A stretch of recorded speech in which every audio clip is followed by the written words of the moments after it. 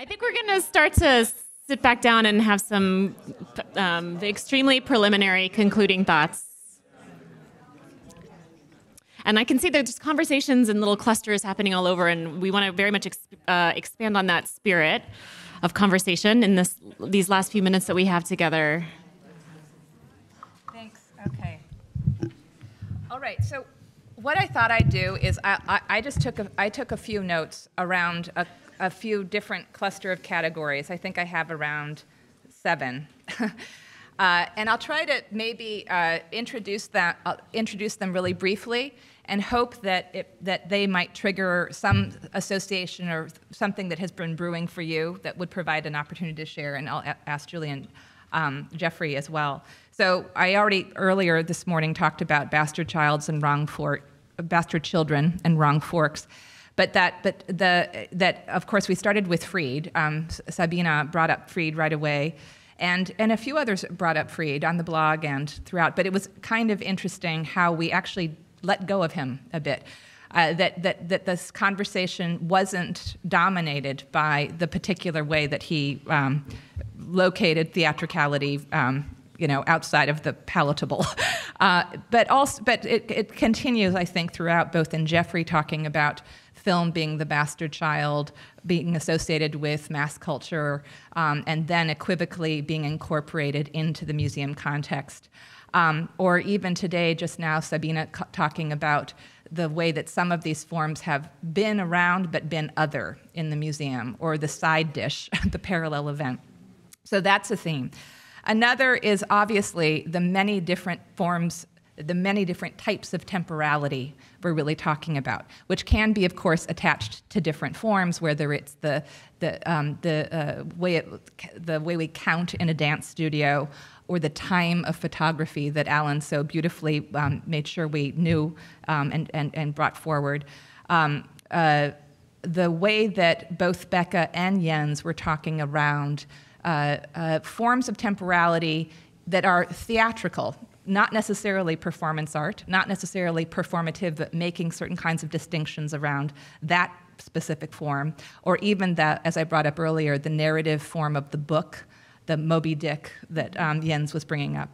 Um, obviously, film um, and, and, its many different temporalities in the way that um, that many of the artists and critics were encouraging us to um, uh, uh, to have uh, multiple ways of understanding even this even a single form when it comes to video or film or thinking too about uh, Nora remind uh, talking about sound and the manipulations around sound, and then that particular way that time both continues and stops when uh, uh, the, the film continues without sound.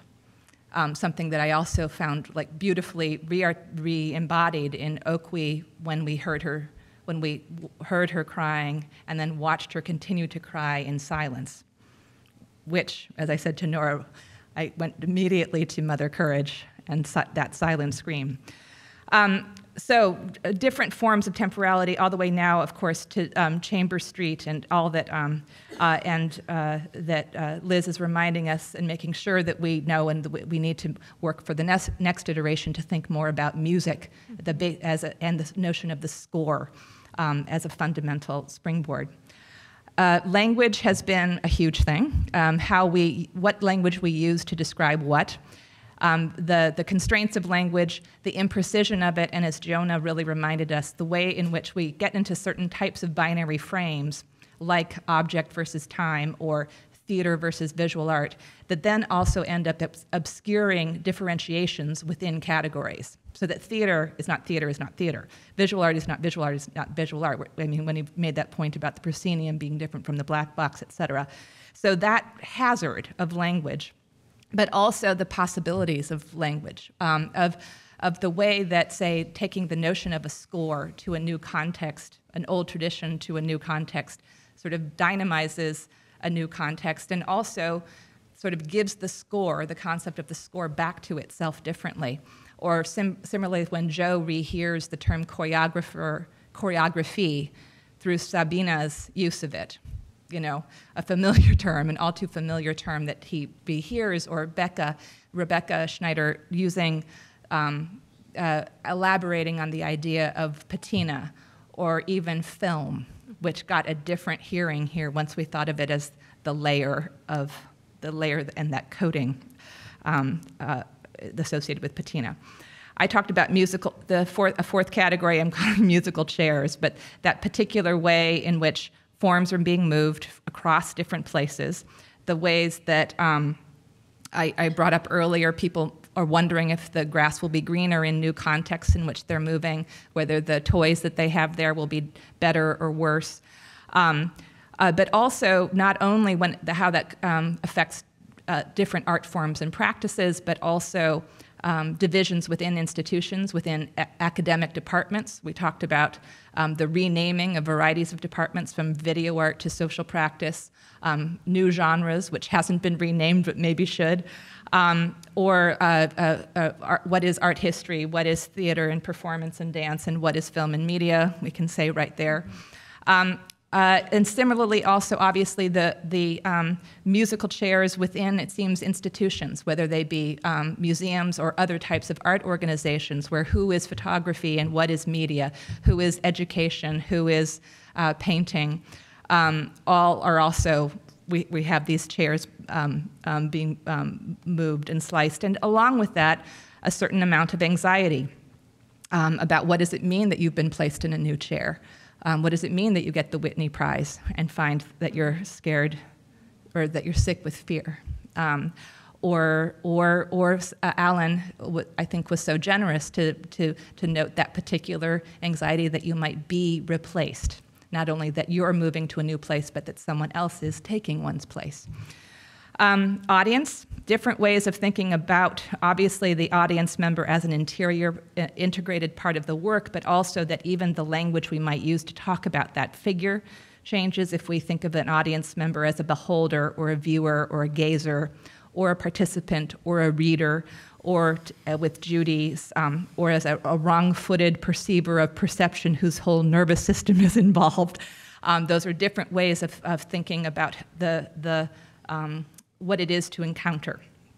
Um, a, and then a, a term that's a, a, line of thought that's terribly important to me is around support systems. I tend to think um, both aesthetically and socially about support systems and how they become integrated, whether we're thinking about profit, nonprofit, state based systems, um, uh, informal or self organized art, art organizations.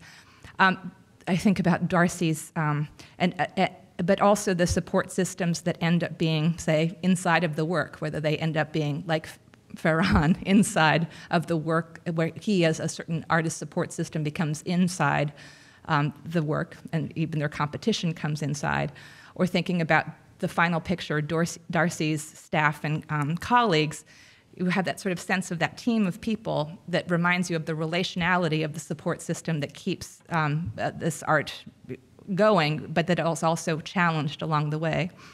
Um, uh, but and then more and more, some of these places where the uh, support system becomes a, a, an infrastructure that is interior to the work, not outside of the work or external to it. Um, whether in um, artist run gallery spaces that are also art projects or artworks, as we heard with Daniel, or Jonah, Jonah's talk, discussion about theatrical infrastructure. Um, uh, that, uh, but also his notion that the visual, art visual artist contribution to his collaborations are also support systems. That was a word, a, a way of phrasing that he, that he used. Or even I, I was talking to Judy about the, the notion that um, man walking down a building is a duet with the person holding the pulley.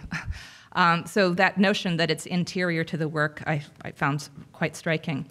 Um, an, another thought I have to just reiterate, and I think it came up right from the beginning with Sabine's talk and all the way through, the notion that a certain kind of time-based practice, a turn to events, et cetera, is part of a, is on the one hand understood to be um, a radical move away from object-based process, object making, and at the same time fully consonant with this much larger change, um, which we c- can talk in, in, a very easy, perhaps too easy way, as a Fordist to post Fordist turn.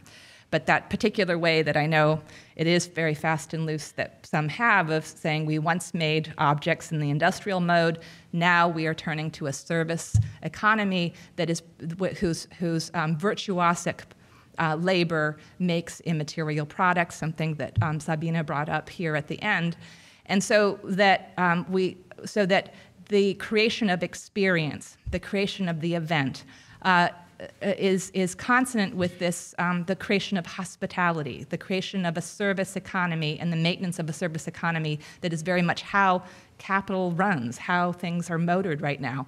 So that um, that pressure that so many of the curators voiced of, of, of thinking of performances and time based works of various sorts not only as the sort of radical break, but is fully consonant with the creation of the inclusive museum, the blockbuster exhibit, and the pressure for, um, for a certain kind of spectacle. And the last thing I would say, I have it as schools and PST. Uh, the, but the particular way that this keeps coming up of, about the function of schools in California on the West Coast uh, as, as experimental laboratories and support systems for really vital work. And I think that that is something that became so very clear in so much of what came out in uh, of Pacific Standard Times um, and the whole coordination, and certainly is very much on view in Connie Lewallen's exhibit as well. And so I think also together about what those of us who are on the West Coast and beyond, um, how we think about the educational environment um, as that kind of laboratory and how we might make a, a, sort of a new round together. So those are some points of contact. Hmm. Anyone want to? That was so comprehensive. I don't know. Yeah. I just want to add one word that uh, is um, that may or may not be pertinent at all, but the idea of the curator as custodian.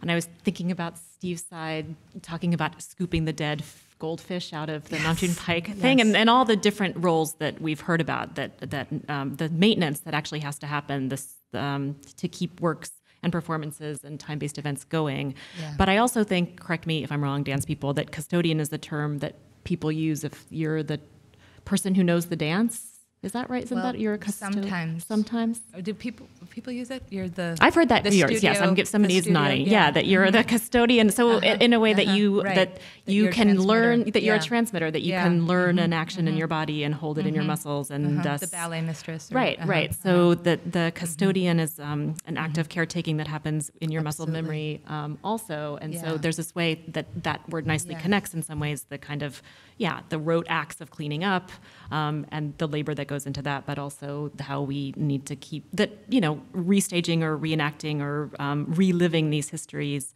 um, sometimes happens in this um, extremely bodily way. Yeah, thank you. Mm-hmm.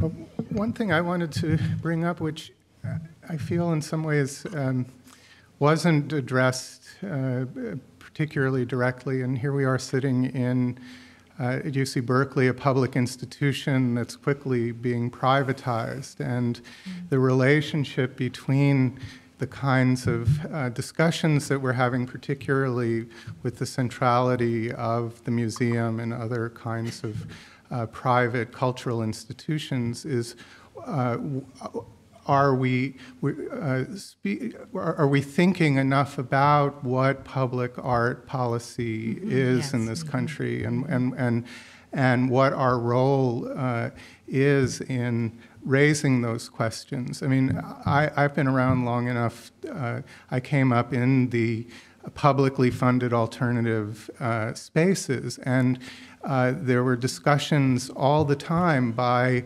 uh, curators and arts administrators and artists about money, about economics, about how things were being funded, about sustainability, uh, which, uh, as all as that world sort of has receded, seems to be spoken about uh, in in you know political terms less less and less, and and you know I. I uh, the, the, the move toward the museums, and, and it's extraordinary to see uh, curators working so hard to adapt the museum to the needs, the changing needs of artists, but at the same time, the, are, are we losing a kind of multiplicity of venues and experiences and relations to the community as uh, we centralize, uh, you know, our, our culture within these private institutions and, and singular institutions. Or nonprofits, but are funded by private philanthropy, right? Right. Uh-huh. Okay. Other, other thoughts, questions, elaborations, disagreements? Yes, Jens. Please, come on down. In fact, I'd love it if a lot of people were a lot closer.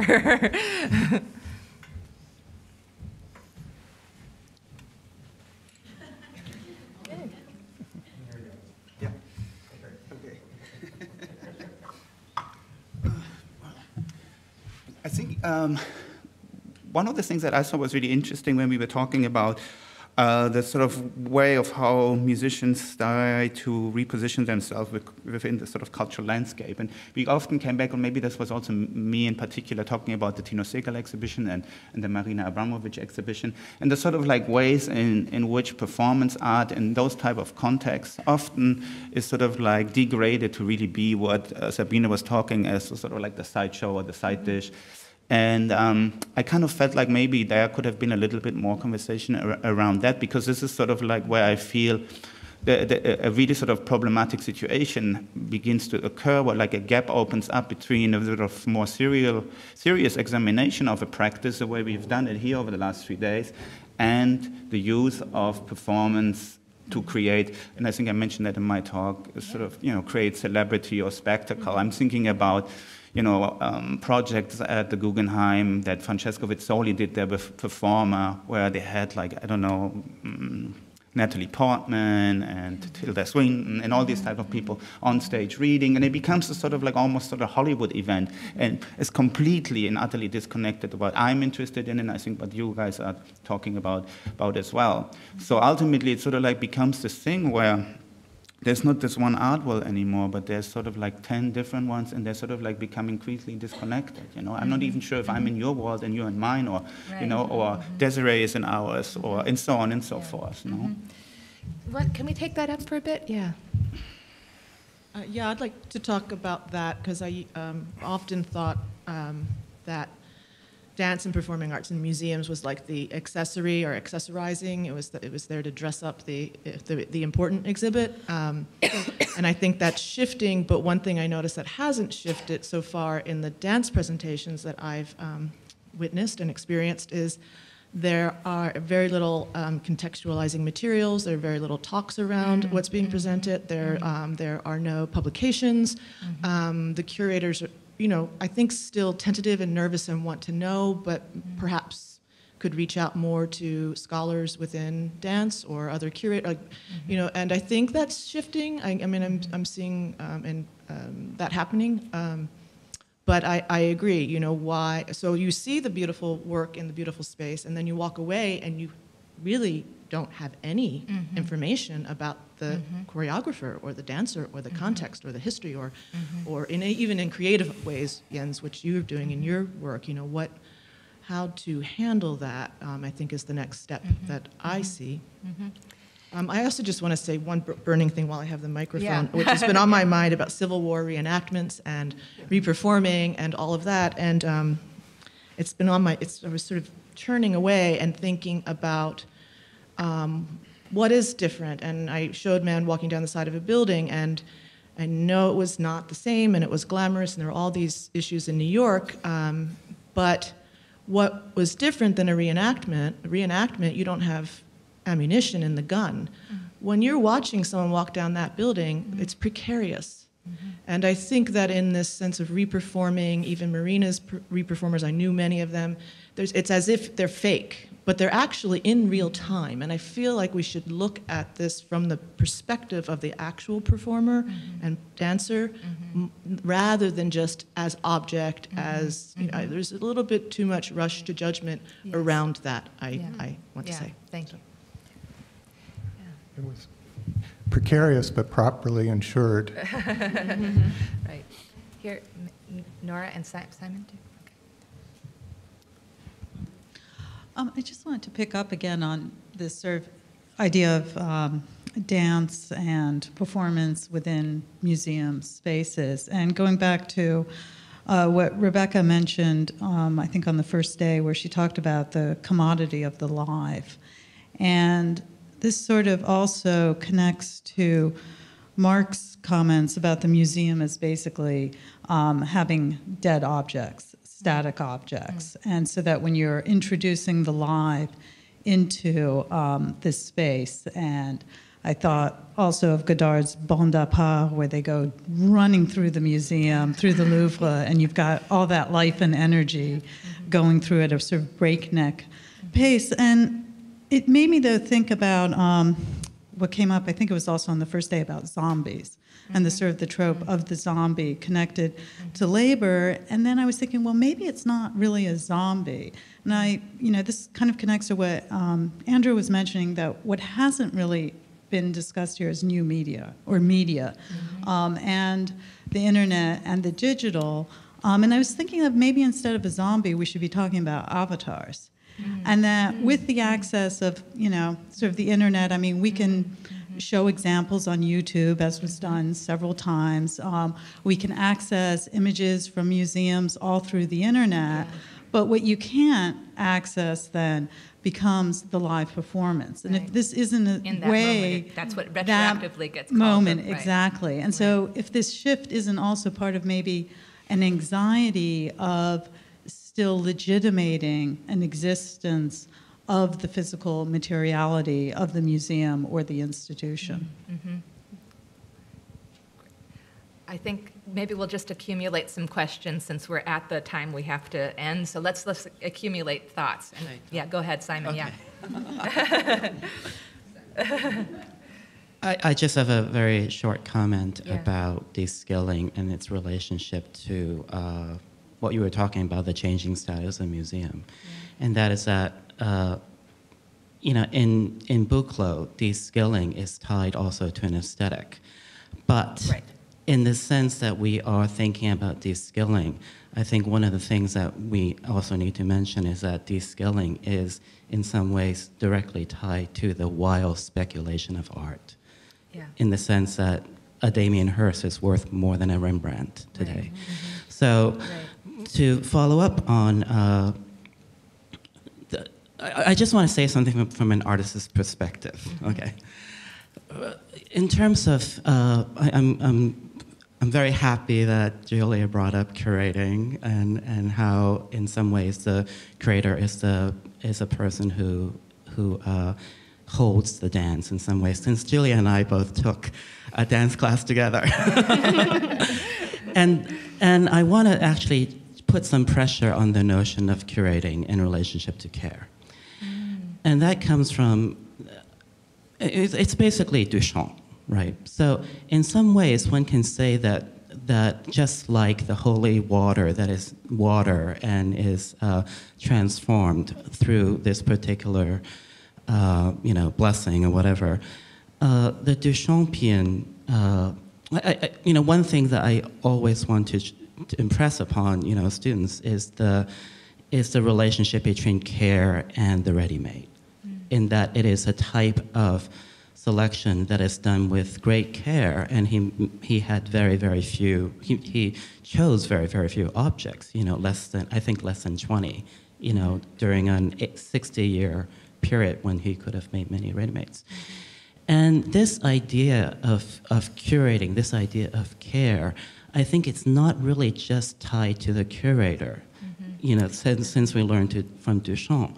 But what Duchamp does is to think of a relationship of care in relationship to an institution that we can maybe refocus a la something like a Foucauldian model of the care of the self. So in some ways, I think, you know, the anxiety of an artist listening to, you know, you know, museum people, and institutional, you know, uh, spokespeople talking about art is that, you know, I- I'm very, very sympathetic to what Liz was bringing up, which is, you know, we oftentimes make things for each other. We oftentimes make things not for institutions. We oftentimes do it for each other as a form of rehearsal. We oftentimes focus on the rehearsal rather than the product. And artists, um, I as one, am, uh, we often look for venues that are actually smaller Yeah. and less, uh, you know, I guess less spectacular in some ways, um, because it's what the work needs, you know, and it's basically the care of ourselves, you know, that for which we are making this work. Thank you. Beautiful. If you need. I have to do my own musical chairs thing here and leave because I'm out of time. So thank you all so much. Can we pass it to Daniel? We're still going. Ash, uh, uh, can we pass it to Daniel? Actually, he had his hand up before.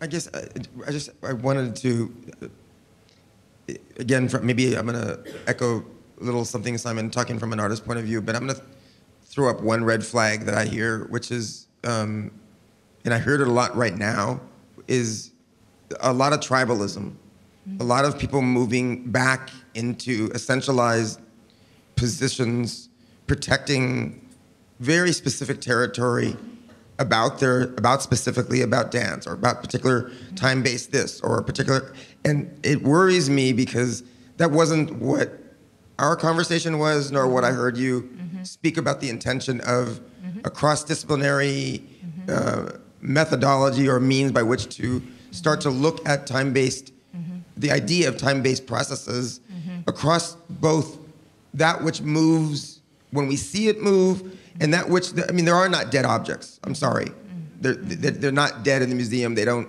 just because they're not moving in front of your eyes doesn't mean they're not i mean i guess i just heard like 50 red flags right now that, I, that seemed the opposite of what Yeah. the intention was to bring a cross representation of ideas together and i also worry about the idea that there is a answer Right. and I also worry or a solution to a multiplicity of types of issues of sustainability, of funding, of venue, of theoretical directions, of uh, methodologies for analysis, uh, rigorous critical uh, environments and examinations of these things. Um, and so I, I, the end bothers me actually mm-hmm. here right now because mm-hmm. mm-hmm. instead of us opening to a door that would allow for um, a real cross pollination intellectually and physically, I, I heard the opposite of that. Okay. And so- Thank you. Okay. Okay. Let's we'll fight against that, and I'll if, if to the extent I contributed to it, my I, my apologies. I definitely I don't think there are any silver bullets. No silver bullets on any of the. So a, a last a last thought. Uh, if we can get a mic up to Jonah. Thank you, Jonah.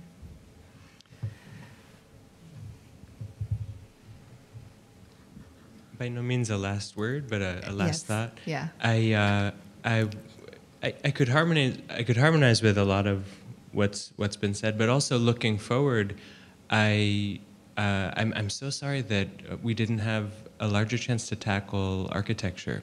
Uh-huh, That we referred to certain iconic spaces in museums without naming the architects of, Mm-hmm. Yeah. of those spaces. Yeah, that's right. So even I, I, I myself could have been more specific in saying, Mm-hmm. rather than saying, uh, or, or rather than any of us saying MoMA, it's Mm-hmm. It's a, uh, an atrium designed by Taniguchi, and it's very specific. It's very Yeah. different from Breuer, and so these are. So we made wonderful and specific time, but maybe Yes, articulating space would be another. And the time-based work in architecture is such a huge conversation. So thank you. All right, I encourage all of you to um, also go to the blog and or or send more blog posts to us um, via Sarah Gibbons if you'd like to say more. Comment on other people's thoughts if you have more reflection um, as one way to keep going. But please stay in touch. Uh, we do hope to have more iterations of versions of like this, and we have pilot upon pilot and try to keep improving and expanding. So thank you so much, diehards, for sticking with us, and um, we'll um, uh, see you next time.